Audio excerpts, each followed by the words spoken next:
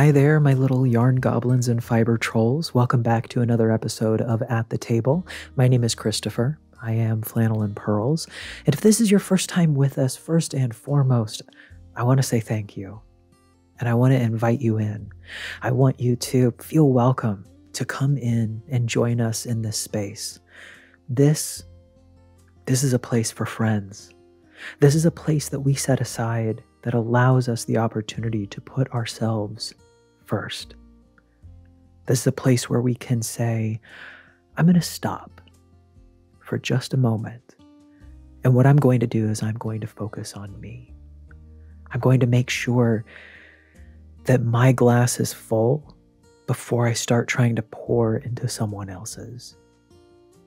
Especially this time of year where, for so many of us, the world is starting to cool it's starting to slow down. Things are moving at a bit of a different pace than they were during the summer. It's such an important thing for us to be able to set aside that time to allow ourselves to say, as much as I love everyone else, and as important as they are to me, I'm important too. So, what we do here is we craft together. And it doesn't matter what your craft is, that's the best part. You could be weaving, you could be spinning, crocheting, knitting. I've had some people who have done watercolors, woodworkers. They reached out to me and they said that they were whittling. Love that. It doesn't matter what you do. What matters is, is that you find a seat here at the table where there's always room for you. Now, what I'm going to be working on today is I have just finished off a pair of mittens. I made these out of some fisherman's wool in natural brown, and I just love them. They're so thick, they're so hardy. I know that they're going to keep my fingers nice and toasty all winter long, which for me is very important because I am a part of the always cold gang. I am always chilly, and my fingers are the first things to go. But I've just finished these off, but they need their ends woven in and they need a button attached right here on the flap. So that's what I'm going to be working on. Now you can work on whatever you want. Feel free to pause now. Go gather your stuff. Go gather your WIP. Get your project together, your tools. Maybe you're starting something new, and this is an opportunity for you to set aside a little bit of time and get that you know, right off the ground, which is always very exciting. If actually, if I get through this and we still have enough time, I'm actually, I've got some yarn back there and I'm going to work on a swatch for a new sweater. So by all means, if you want to, you know, get a, a new project going, you're welcome to do that. So feel free to pause it now. I'm going to play a little bit of quiet music while we work together Feel free to come back whenever you're ready.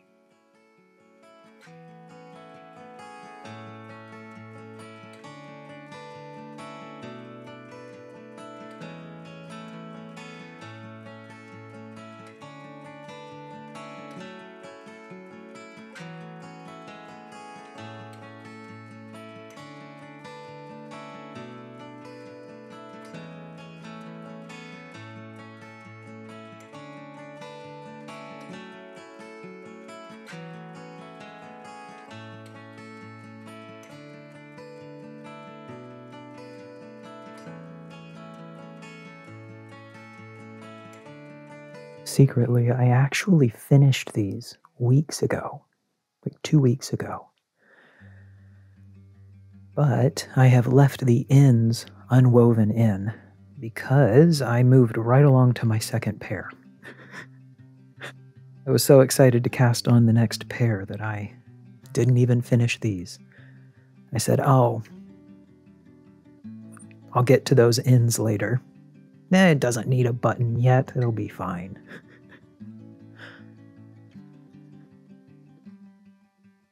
That kind of ended up perfect because now I get to do this with you all.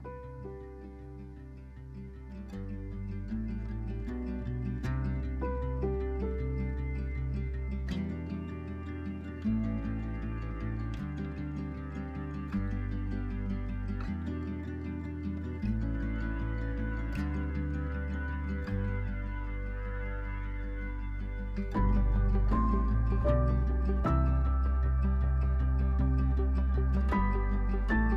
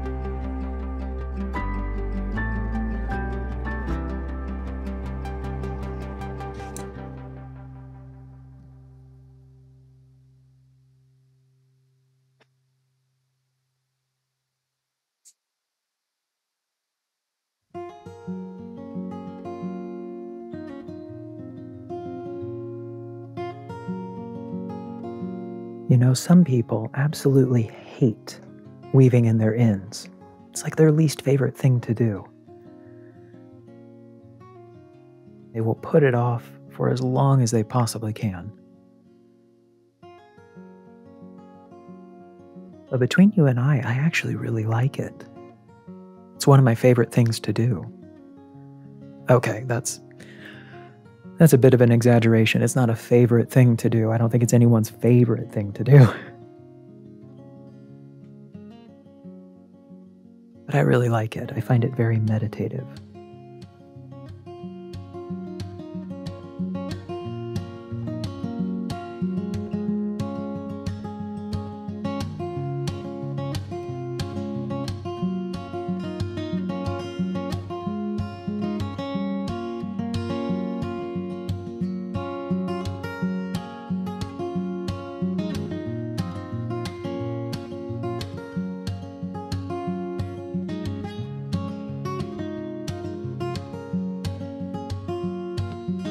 Although I will say, back in February of this year, I made one project that had, it was a marled sweater.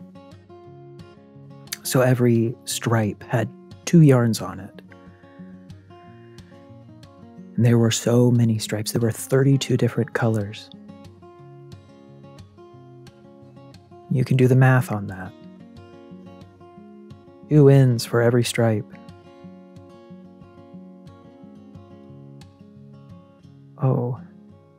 Think it took two days in total just to weave in all of those ends. It took so long. and I said then I will never do something like this again to myself. No, no, no, no, no. We will find another way.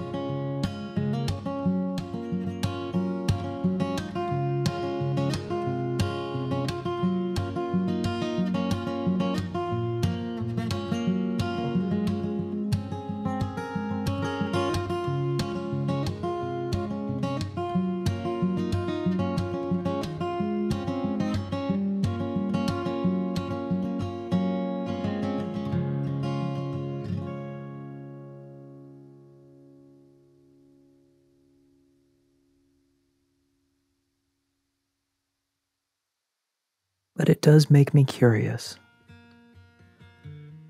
How long do you wait to weave in your ends?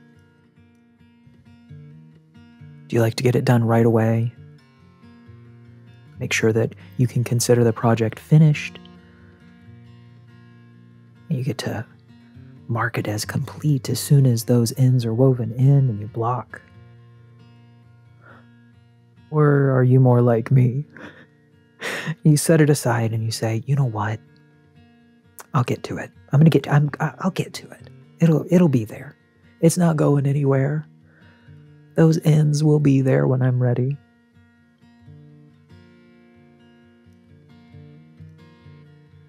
I used to be way better about it.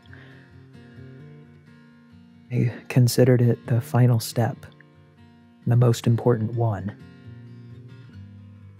I would get it done as soon as physically possible. I would say that's I'm go, okay, final stitch. Now I have to sit down and I have to weave in all of these ends. It's not a complete project without it. And I guess I just got I just I, I just got busy. I got busy and I started realizing the allure of just setting it aside, letting it sit,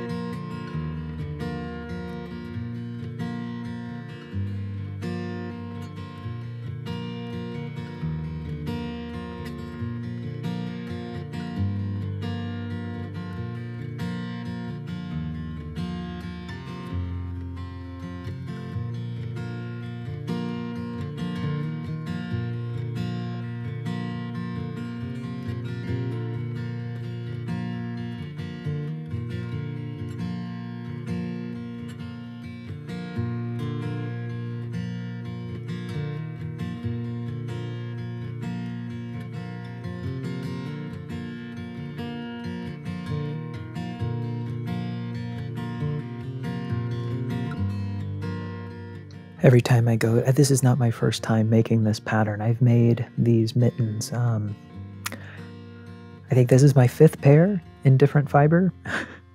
I love it. It's one of my favorites. Um, this is the Twisted Mitten by Annike Knit, which, if you're interested, I'll go ahead and I'll link that below. But it is one of my favorite sort of beginner mitten patterns. It was the first pair of mittens I ever made. And I guess I've felt very loyal to it ever since then. I've made it so many times over and over again. I've done it from uh, semi-tonal, speckled, a pair of uh, a pair that were made in tweed. I've done super washes, and now I've done a non-super wash with the fisherman wool. And it's just lovely. It's so simple. It's very quick. I can get it done in just a just a couple of days usually which I love.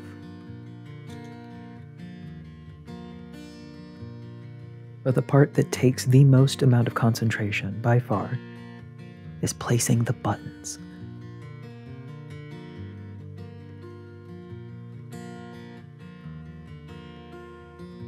I always want to make sure that they are just in the right place.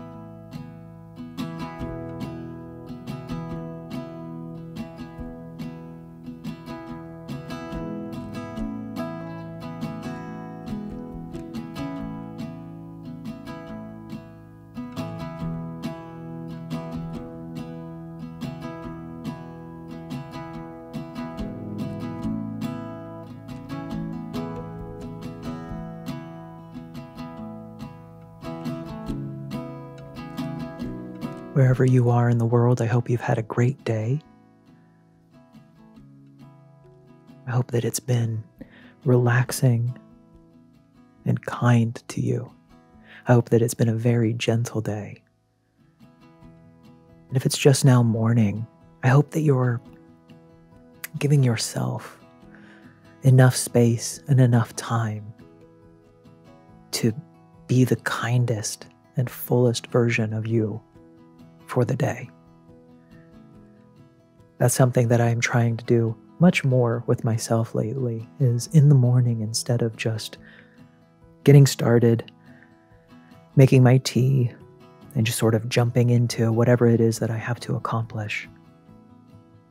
But I'm giving myself the opportunity to make sure that I can be the best version of myself by allowing myself the time and the energy to get ready for what that demands, because it does. Being the fullest version of yourself, it, it demands something. And I think that we oftentimes forget that. It's not it's not anything that comes free. It's certainly not something that comes naturally all the time. Sometimes it takes effort.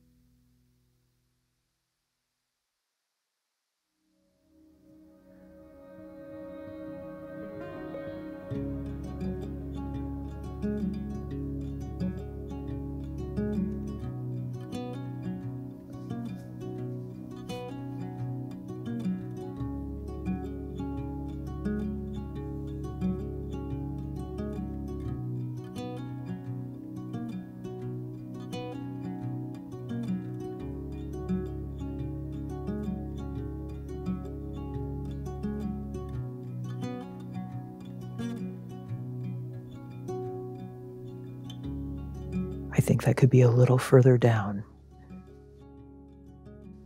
Let's see how easy this is going to be to pull out.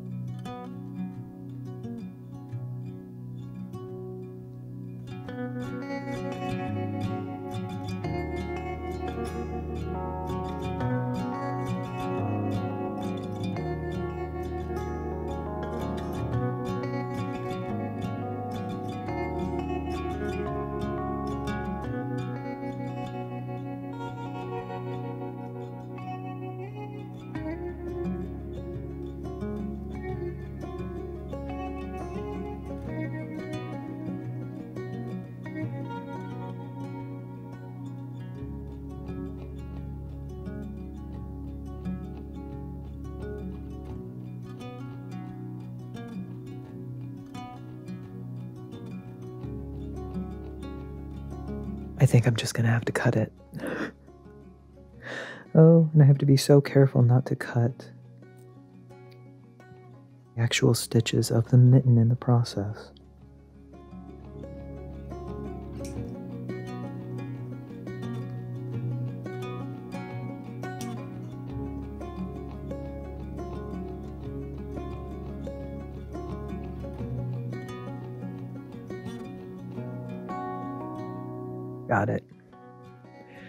My favorite parts of this. I love I love that we get to just we get to try new things together. We get to make mistakes, undo them, do them again.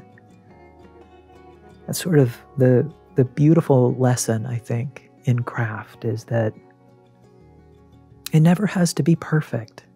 It doesn't have to be right the first time.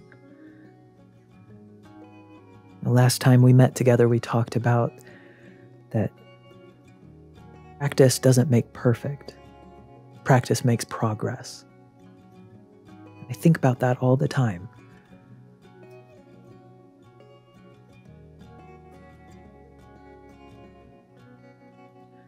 Because I am new to this and I need all of the practice and the progress I can get.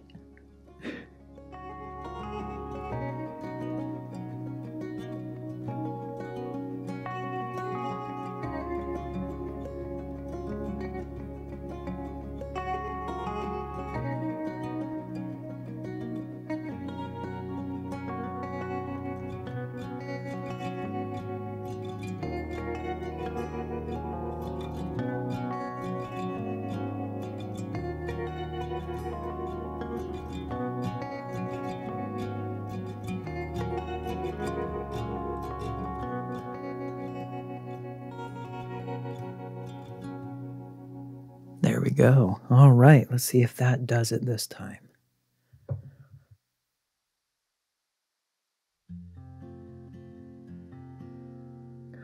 Oh, and thank you for all of the suggestions.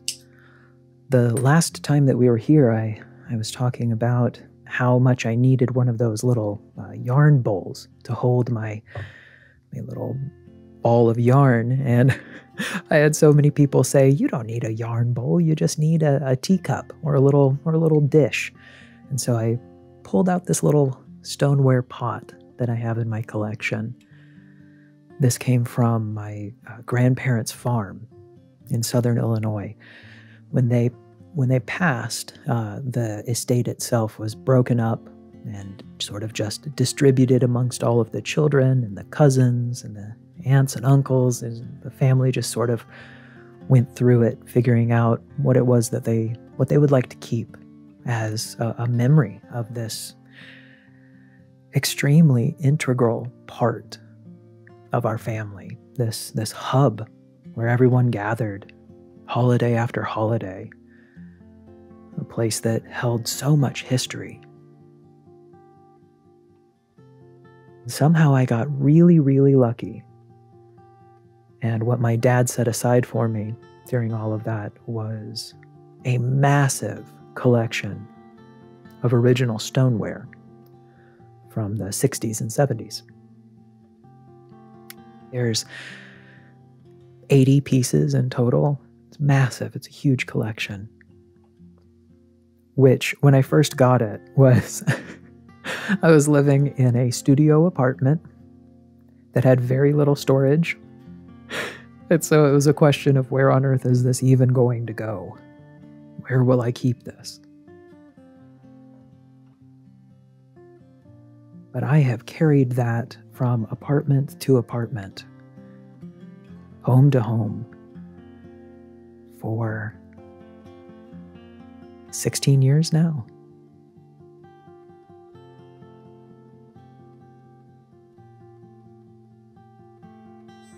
And it's not going anywhere.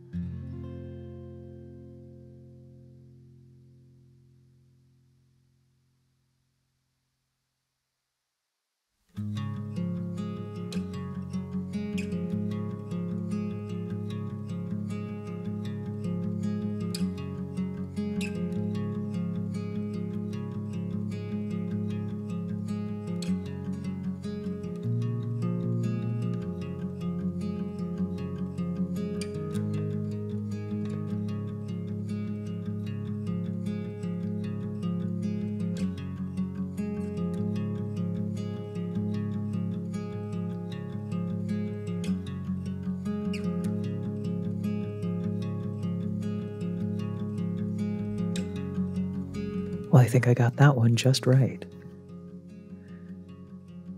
Excellent. See, it just takes a second try.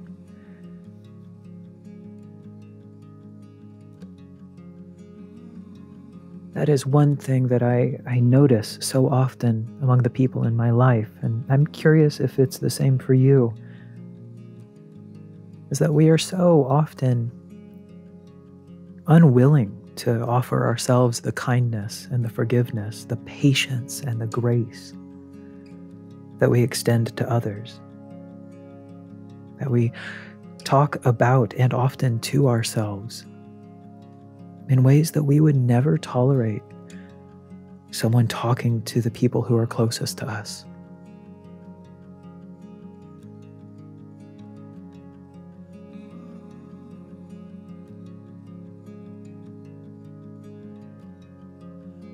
And it can be very easy to forget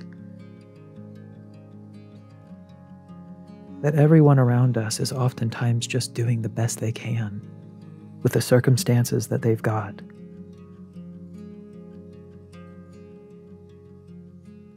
And that includes us.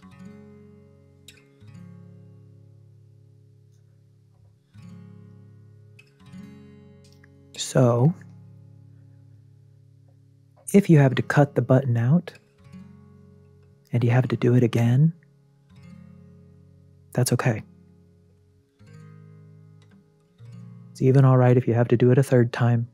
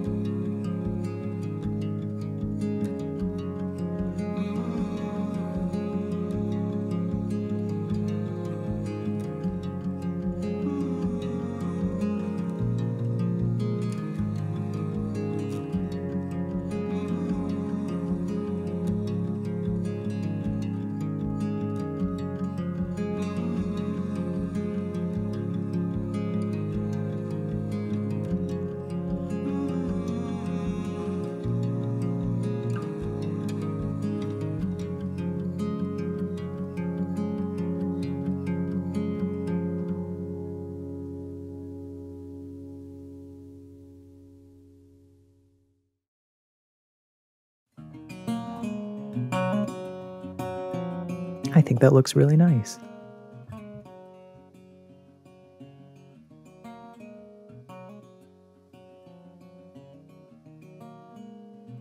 All right, that is one button down, one more to go. I hope your project is coming along well. Tell me, I, I love it. I absolutely love it when you tell me what you're working on. So please let me know. Let me know. I have found out about so many interesting, fun patterns because of you all telling me your projects. It's like this wonderful international crafting circle that we have here that we all just get to share with one another and you know sort of just be excited right allowing ourselves the opportunity to be excited with other people who share the same passion which that is that's really the beauty of it is that even if it's not the same craft it's the same passion. What we're doing is we're you know, making a different world for ourselves and for the people around us. With our hands and with the materials that we use, we are shaping something that is our own design and something that we want to live in. We didn't choose to buy it, we didn't go to a store. We made it with our own ingenuity and our own hands, sometimes our own feet, all sorts of things, maybe our mouths, you never know. But the important part is that it was something that we agreed to, we consented to, we decided and said, yes, This is what I want.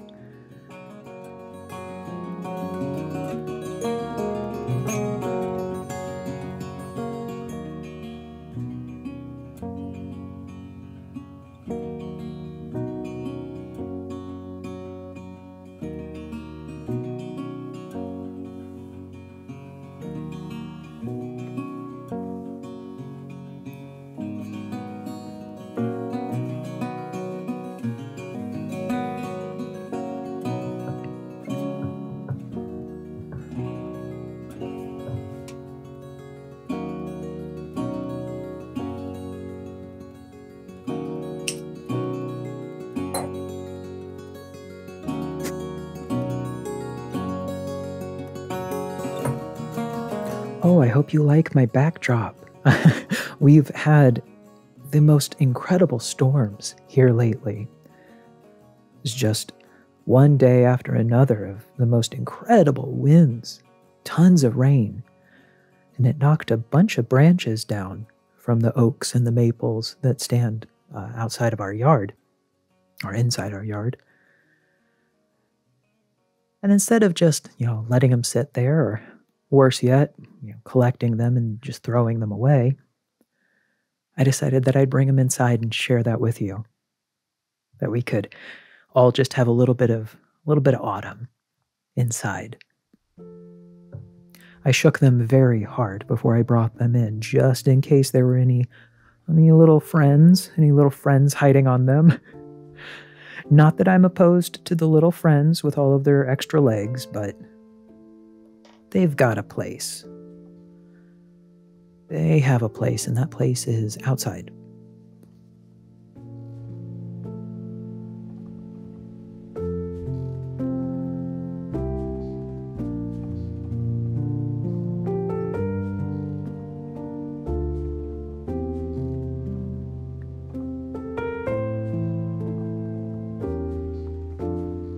It is officially autumn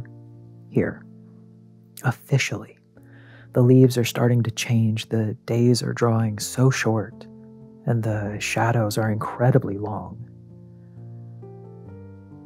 I woke up this morning, and when I went downstairs to say hello to Howl, which, by the way, I have told her that all of you say hello. But when I went downstairs to say to uh, hello to Howl this morning, it was the first morning that I could see my breath. Big plumes of steam.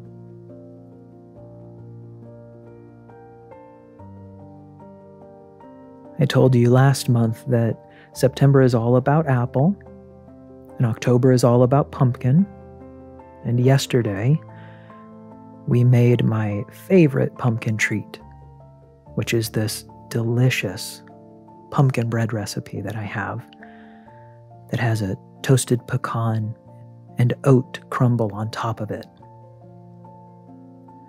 I think you may have recognized a bit of a trend. I'm just now realizing that I talked about a loaf cake last time. I'm talking about a loaf cake this time.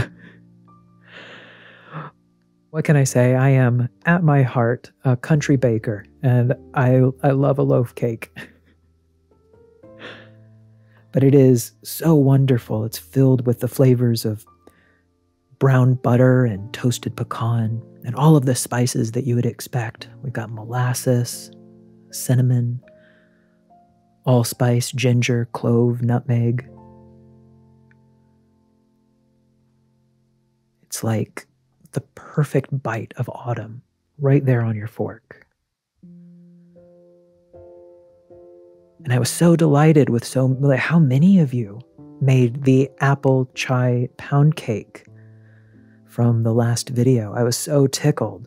So if you'd like to make this one as well, if you'd like to join me in my little autumn treat, there is a link below for where the recipe is published. It's on my Substack.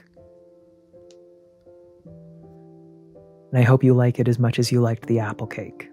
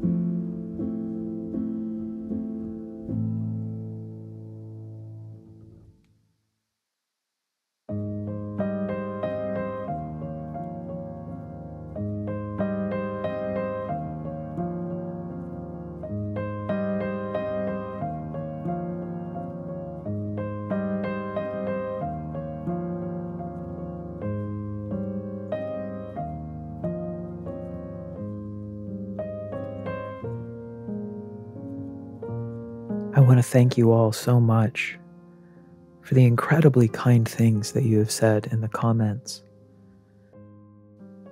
Maybe it seems a little cliche to say, but I I really do mean it from the bottom of my heart. I don't have the time always to, to respond to every single one of them, but I want you to know that I do read them. And you all are so generous and it, it really touches me. Like, it really does make me uh, so appreciative that we get to spend all of this time together. Like, it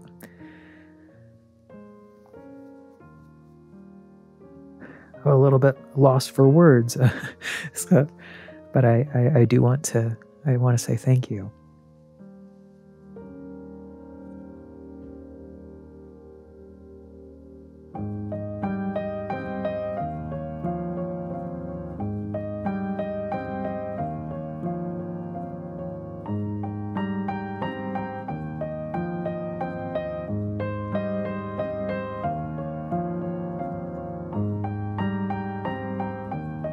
Just a couple of mittens.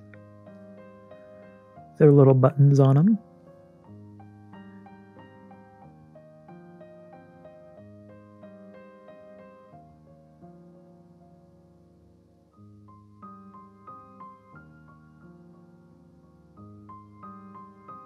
I think all that's needed now is just the, the little loop on top. I think that mittens are one of my favorite things to make. I would say socks and mittens. I really enjoy them, and I think it's just because of one, how fast they are to make, and two, it's just such a, uh, a kind gift to give to yourself or to somebody else. Maybe it says more about the fact that my toes and fingers always get cold first, that I like making socks and mittens. But I don't know. I just, I love the ability to just look down and see something that I've made.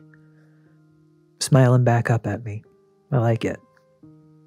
I said the same thing about socks, and here I am repeating myself about mittens. The loop is always the hardest part for me. It always takes the most trial and error. I have to go back and forth and back and forth. Figuring out the right length, number of chains to make. Actually, crocheters tell me is a link, is that a stitch? Is the whole thing a chain? Is it a one chain, two chain, three chain? I, it's been so long since I've done any crocheting, I, I can never remember. But I know you'll tell me. I know you will.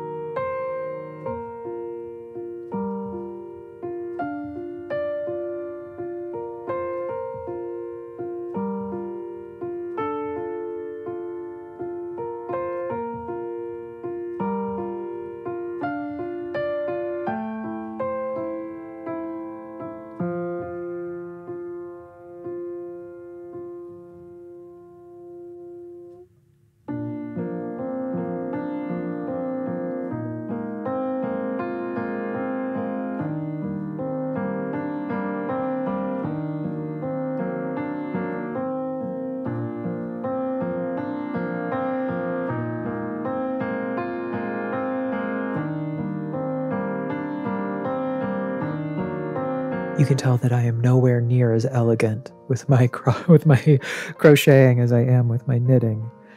Or at the very least, it doesn't feel that way. You just got a very long look at the top of my head. I hope you enjoyed it. I hope it was nice.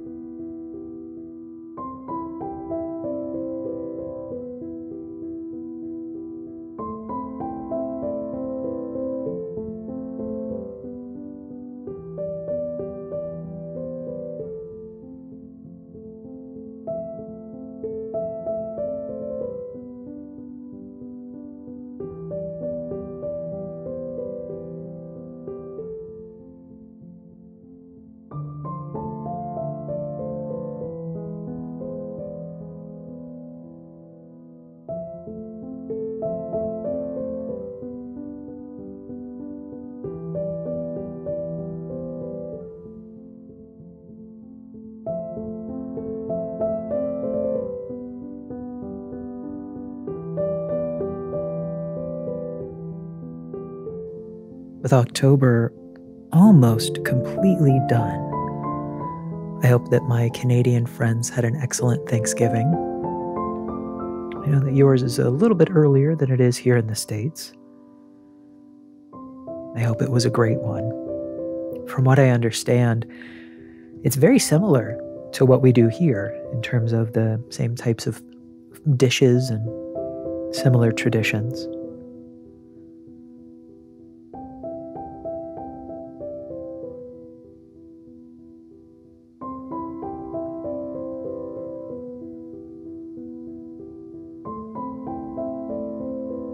For me, Thanksgiving is one of, if not the most important, holidays in my year. Because I think that Thanksgiving is every cook's favorite holiday. I just think that that's I think that's the case. At least here in the states. It is it's the holiday where we get to shine and we get to just dig up all of the best old recipes, all the stuff that means so much to us, things that have sometimes been in our family for a long time. Or, my case, it gets to be an opportunity to blend the things that are familiar with things that are my tradition, things that I bring to the table that that are important to me. And I love that. It's an opportunity to appreciate and explore things that matter most to us.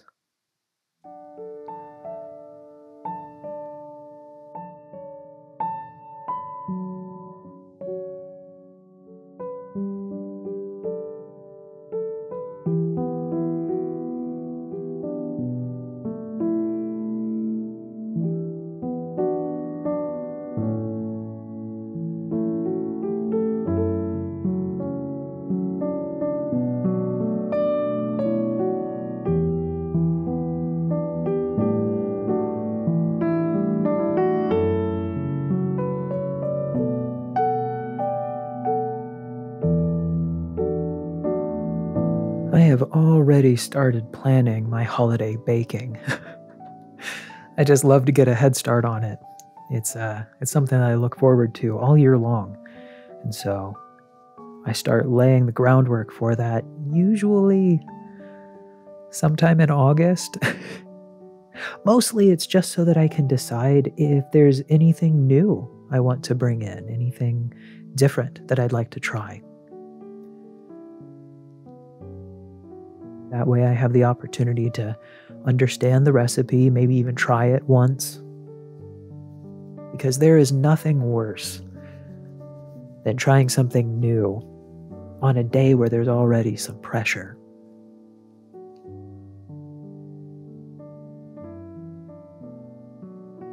So, if I can, I always like to give it a bit of a test run But this year, I think I'm just going to stick to the classics.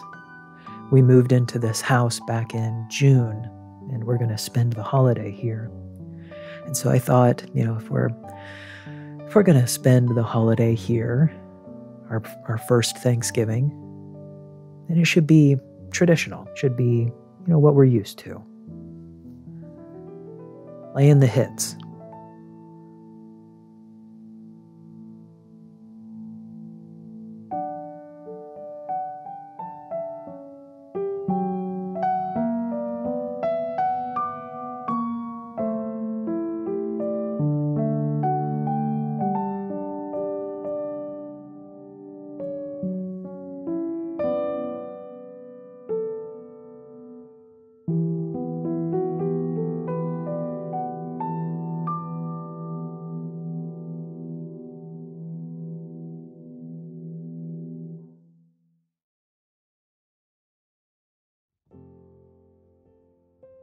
Love to know is there something that you are looking forward to making or or eating?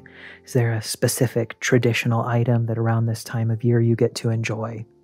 That's something that I think is so incredible and sort of thrilling about this time of year is that, at least for the Northern Hemisphere, it doesn't matter if you celebrate Thanksgiving or Christmas. It, it, it really doesn't matter. That's the, the beauty of autumn and winter is that regardless of what holidays the food may be attached to, is that every culture has these traditional autumn and winter dishes that come out around this time of year. And I love finding out about them. I just love it. It's one of my favorite things to, to research. So if you have a favorite, please let me know. I'd love to I'd love to learn something new.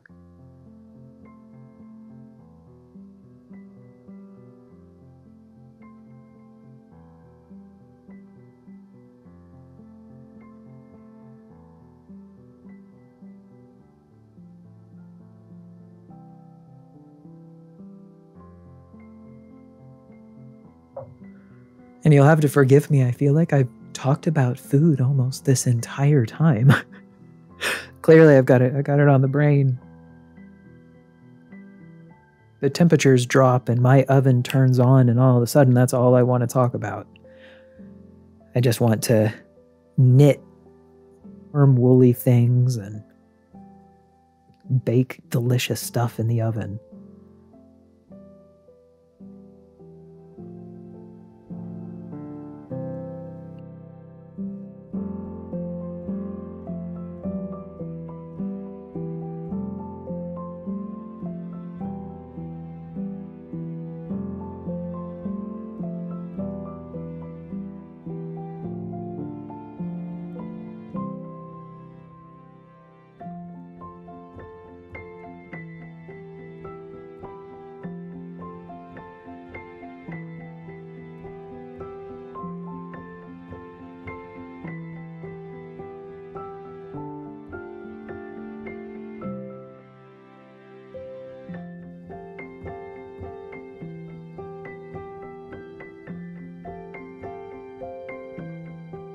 And I think I am just about done.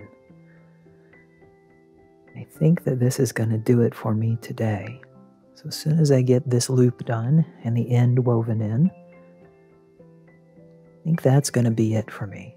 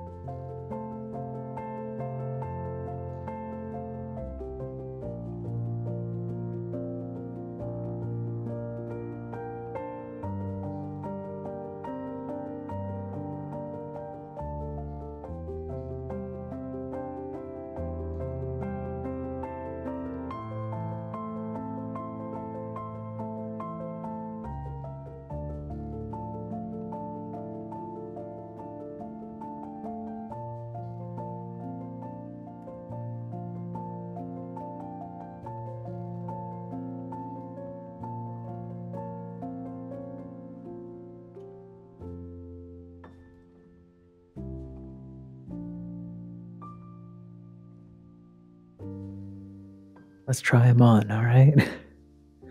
Let's see if I got it.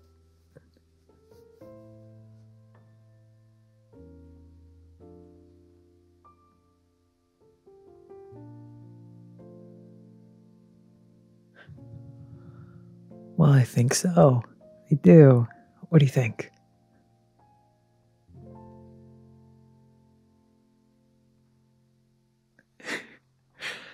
I love this pattern. Again, these are the Twisted Mittens by Annike Knit. You can find the pattern for that uh, down below in the caption. And for those who cannot use Ravelry, this one will be to their direct site. That way you don't have to go through Ravelry. This is two times in a row that you've been able to see me finish a project. I feel like I'm setting a precedent that will not be continued. I don't peel through I don't peel through projects that quickly. But just because I'm done for the day does not mean that you have to be. You're absolutely welcome to keep on crafting for as long as it makes you happy. Keep on going. Or if you're ready to take a little bit of a break along with me, feel free to do that too. I want to thank you so much for joining me today. I want to thank you for coming back into this space, for taking a seat at the table. I want you to remember that anytime you need it, anytime you need a reason to escape the ongoing chaos of the world around us, if you need a place where it is quiet and warm and safe, there is always a seat at this table for you. My name is Christopher. I am Flannel and Purls, and I want to thank you so much for being here today. I'll see you next time. Thank you so much for watching. For ad free versions of my videos and other exclusive content, head over to Flannel and Purls on Patreon. You can find me there on Instagram and on Substack by clicking the links below. Take care, my friends.